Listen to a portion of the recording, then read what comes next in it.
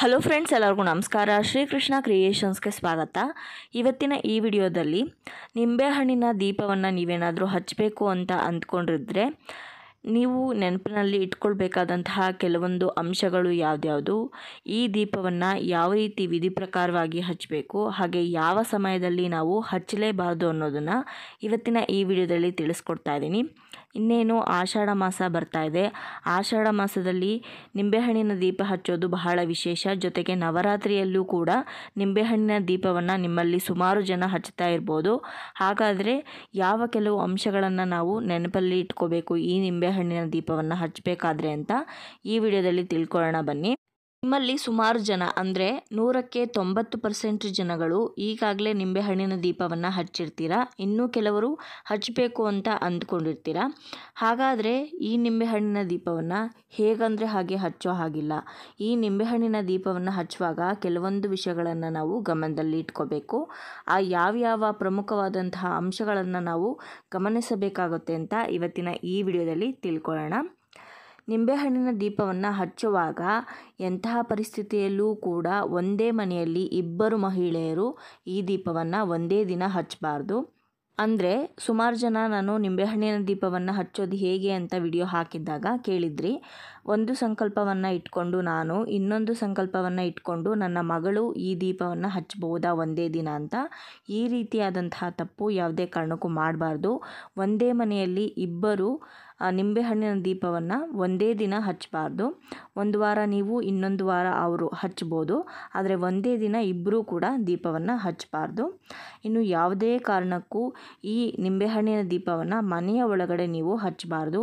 ಈ ದೀಪವನ್ನು ಕಾಳಿ ದೇವಸ್ಥಾನದಲ್ಲಿ ಮಾರಿ ದೇವಸ್ಥಾನದಲ್ಲಿ ಅಥವಾ ದುರ್ಗಾದೇವಿ ಅಂಬಾಭವಾನಿ ಕಾಳಿಕಾ ಮಾತೆ ಈ ದೇವಸ್ಥಾನದಲ್ಲಿ ನೀವು ಹಚ್ಬೋದು. ಆದರೆ ಯಾವುದೇ ಕಾರಣಕ್ಕೂ ಲಕ್ಷ್ಮೀ ಸರಸ್ವತಿ ದೇವಸ್ಥಾನದಲ್ಲಾಗಿರ್ಬೋದು, ನಿಮ್ಮ ಸ್ವಂತ ಮನೆಯಲ್ಲಾಗಿರ್ಬೋದು ಹಚ್ಚೋ ಹಾಗಿಲ್ಲ.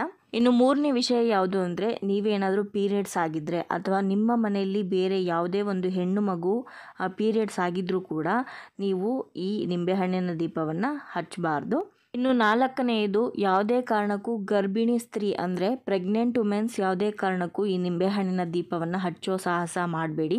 ದಯವಿಟ್ಟು ಯಾರು ಯಾರು ಪ್ರೆಗ್ನೆಂಟ್ ಆಗಿರ್ತೀರೋ ಅವರು ಈ ವ್ರತವನ್ನು ಮಾಡ್ಬೋದಾ, ಈ ಪೂಜೆ ಮಾಡ್ಬೋದಾ, ಈ ದೀಪ ಹಚ್ಬೋದಾ ಅಂತ ಸುಮಾರು ಕಮೆಂಟ್ಸಲ್ಲಿ ಕೇಳ್ತಾ ಇರ್ತೀರಾ.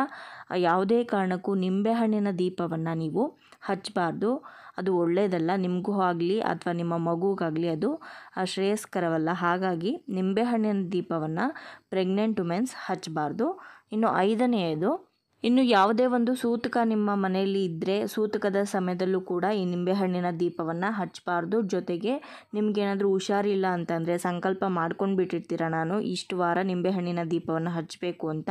ನಿಮಗೆ ಹುಷಾರಿರಲ್ಲ, ಅಂತಹ ಸಮಯದಲ್ಲೂ ಕೂಡ ನೀವು ನಿಂಬೆಹಣ್ಣಿನ ದೀಪವನ್ನು ಹಚ್ಚಬಾರ್ದು ಹಾಗೆ ಹಬ್ಬಗಳಲ್ಲಿ ಒಳ್ಳೆ ಒಳ್ಳೆ ದಿನಗಳಲ್ಲಿಯೂ ಕೂಡ ಈ ನಿಂಬೆಹಣ್ಣಿನ ದೀಪವನ್ನು ಹಚ್ಚಬಾರ್ದು ಇನ್ನು ಆರನೇದು ಕೆಲವರು ಏನು ಮಾಡ್ತಾರೆ, ನಿಂಬೆಹಣ್ಣಿನ ದೀಪವನ್ನು ಕೂಡ ಅವತ್ತಿನ ದಿನವೇ ಹಚ್ಚಿರ್ತಾರೆ. ಜೊತೆಗೆ ಬೇರೆ ದೀಪಾರಾಧನೆಯೂ ಕೂಡ ವಿಶೇಷ ದೀಪಾರಾಧನೆ ಮಾಡಿರ್ತಾರೆ.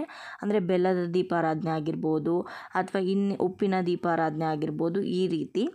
ಯಾವುದೇ ಕಾರಣಕ್ಕೂ ಒಂದೇ ದಿನ ಎರಡೆರಡು ರೀತಿಯಾದಂತಹ ದೀಪವನ್ನು ನೀವು ಹಚ್ಚಬಾರ್ದು ನಿಂಬೆಹಣ್ಣಿನ ದೀಪವನ್ನು ಹಚ್ಚಿದ್ರೆ ಅದೊಂದನ್ನೇ ಹಚ್ಚಬೇಕು ಅವತ್ತಿನ ದಿನ. ಬೇರೆ ಯಾವುದೇ ದೀಪಾರಾಧನೆನ ನೀವು ಅವತ್ತಿನ ದಿನ ಮಾಡಬಾರ್ದು. ಏಳನೇದು ನೀವೇನಾದರೂ ನಿಂಬೆಹಣ್ಣಿನ ದೀಪವನ್ನು ಹಚ್ಚಬೇಕು ಅಂತ ಅಂದ್ಕೊಂಡಿದ್ರೆ ಮನೆಯಲ್ಲಿ ಯಾವುದೇ ಕಾರಣಕ್ಕೂ ಜಗಳ ಆಡ್ಕೊಂಡೋಗಿ ದೀಪವನ್ನು ಹಚ್ಚಬೇಡಿ ಮನಃಶಾಂತಿಯಿಂದ ಏಕಾಗ್ರತೆಯಿಂದ ನಿಂಬೆಹಣ್ಣಿನ ದೀಪವನ್ನು ಹಚ್ಚಬೇಕು ಹೇಗೆಗೋ ದೀಪವನ್ನು ಹಚ್ಚಿದ್ರೆ ಅದರಿಂದ ಅಡ್ಡ ಪರಿಣಾಮಗಳು ಹೆಚ್ಚಾಗತ್ತೆ. ಹಾಗಾಗಿ ಯಾವುದೇ ಕಾರಣಕ್ಕೂ ಮನೆಯಲ್ಲಿ ಇನ್ನೊಬ್ಬರ ಜೊತೆ, ಗಂಡನ ಜೊತೆ ಆಗಿರ್ಬೋದು, ಅತ್ತೆ ಜೊತೆ ಆಗಿರ್ಬೋದು, ಯಾರ ಜೊತೆ ಆಗಿದ್ರೂ ಕೂಡ ಜಗಳ ಮಾಡ್ಕೊಂಡು ಹೋಗಿ ದೀಪವನ್ನು ಖಂಡಿತವಾಗ್ಲೂ ಹಚ್ಚಬೇಡಿ ಇನ್ನು ಎಂಟನೆಯದ್ದು, ಬಹುಮುಖ್ಯವಾದಂಥದ್ದು, ಮುತ್ತೈದೆಯರು ರೇಷ್ಮೆ ಸೀರೆಯನ್ನು ಅಥವಾ ರೇಷ್ಮೆ ಬಟ್ಟೆಯನ್ನು ಧರಿಸ್ಕೊಂಡು ಹೋಗಿ ಈ ದೀಪವನ್ನು ಹಚ್ಚಿದ್ರೆ ಅವರ ಇಷ್ಟಾರ್ಥಗಳು ಸಿದ್ಧವಾಗುತ್ತೆ. ರೇಷ್ಮೆ ಸೀರೆ ಅಥವಾ ಬಟ್ಟೆ ಹಾಕ್ಕೊಂಡು ಹೋಗೋದಕ್ಕಾಗಲಿಲ್ಲ ಅಂದರೂ ಪರವಾಗಿಲ್ಲ. ಅಟ್ಲೀಸ್ಟ್ ಮುತ್ತೈದೆಯರು ಸೀರೆಯನ್ನು ಉಟ್ಕೊಂಡು ಹೋಗೇ ಈ ದೀಪವನ್ನು ಹಚ್ಚಬೇಕು ಅದೇ ರೀತಿ ನಿಂಬೆಹಣ್ಣಿನ ದೀಪಕ್ಕೆ ಎಣ್ಣೆ ಎಲ್ಲ ಹಾಕಿ ದೀಪವನ್ನು ಹಚ್ಚಬೇಡಿ. ಆದಷ್ಟು ತುಪ್ಪವನ್ನೇ ಹಾಕಿ, ತುಪ್ಪದ ಬತ್ತಿಯನ್ನು ಹಾಕಿ ದೀಪವನ್ನು ಹಚ್ಚಿ. ನೋಡಿದ್ರಲ್ವ ಸ್ನೇಹಿತರೆ, ಇವತ್ತಿನ ಈ ವಿಡಿಯೋದಲ್ಲಿ ನಿಂಬೆಹಣ್ಣಿನ ದೀಪವನ್ನು ಹಚ್ಚುವಾಗ ನಾವು ಅನುಸರಿಸಬೇಕಾದಂತಹ ಕ್ರಮಗಳು ಯಾವ್ದ್ಯಾವುದು, ಯಾವ ವಿಷಯಗಳನ್ನು ನಾವು ನೆನಪಲ್ಲಿ ಇಟ್ಕೊಳ್ಬೇಕು ಅನ್ನೋದನ್ನು ತಿಳಿಸ್ಕೊಟ್ಟಿದ್ದೀನಿ. ಇವತ್ತಿನ ಈ ವಿಡಿಯೋ ನಿಮ್ಮೆಲ್ಲರಿಗೂ ಇಷ್ಟ ಆಗಿದೆ ಅಂತ ಭಾವಿಸ್ತೀನಿ. ಇಷ್ಟ ಆದರೆ ಲೈಕ್ ಮಾಡಿ, ಶೇರ್ ಮಾಡಿ, ಕಮೆಂಟ್ ಮಾಡಿ. ಚಾನಲ್ನ ಹೊಸದಾಗಿ ನೋಡ್ತಾ ಇದ್ದರೆ ಸಬ್ಸ್ಕ್ರೈಬ್ ಮಾಡ್ಕೊಳ್ಳಿ. ಸಿಗೋಣ ಮತ್ತೊಂದು interesting ವಿಡಿಯೋದೊಂದಿಗೆ. Take care bye thank you for watching